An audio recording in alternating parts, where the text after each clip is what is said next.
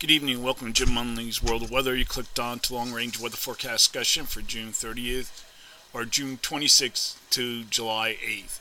For June 26th to 30th, we're expecting an anomalous pattern here. We're going to have a ridge building here along western North America and a trough digging south into the United States. And we're looking first at the GFS, and then we're going to go to the 30th, and we can see our trough develop. Our ridge is really starting to pump up here and we're looking for very warm temperatures up across, especially across the north, the northwest. And we're going to look at the temperature anomalies.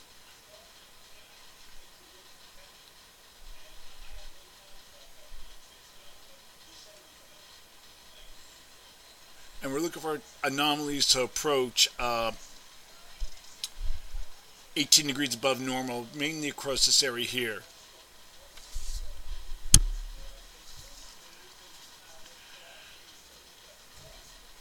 Precipita um, precipitation will focus along the boundary. It will be um, from the Tennessee Valley east to the Virginia and North Carolina coast for the period June 29th through July 3rd.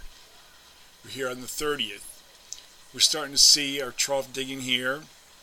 Our ridge really starts to pump here. We have a trough south of the Aleutians. And then we go to the 3rd, and you see this is GFS has a deep trough here in the east we don't have the GFS anomalies, and all the other models are showing some form of a trough in the east, but a really deep or really strong ridge in the west.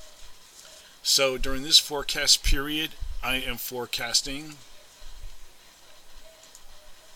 above normal temperatures here and for Florida, below normal temperatures for this area. And we look at the anomalies we're looking at temperatures to be about uh, 18 degrees above normal. The higher anomalies will be across the northwest, as I said before. And in the below normal areas, we're expecting anomalies to be about 10 degrees below normal. For precipitation,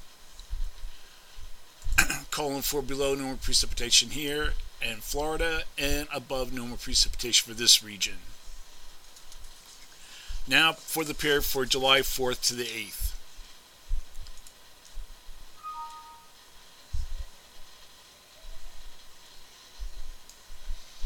Here we are on the 4th. We still have um, our trough really starts to deepen here in the west, uh, in the east, in the center of it over Hudson Bay, down into the U.S. I have our strong ridge here. I don't know if you can see that strong ridge here over western North America, and we have a trough over the Aleutians. So the pattern doesn't really change very much, and then we go to the 8th, and we see very little change.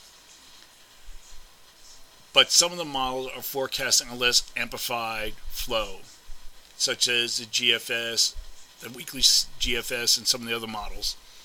Okay, so during this forecast period, I am forecasting little change in the temperature anomalies. We're still looking at temperature anomalies to be uh, about 10 degrees above normal in the west and below normal temperatures area. We're expecting anomalies to be about 10 degrees below normal for precipitation. Calling for below normal precipitation here above normal precipitation for this region so that is a long range weather forecast discussion for June 26th through July 8th. Thanks for coming, Jim Munley's World of Weather, and have a good day.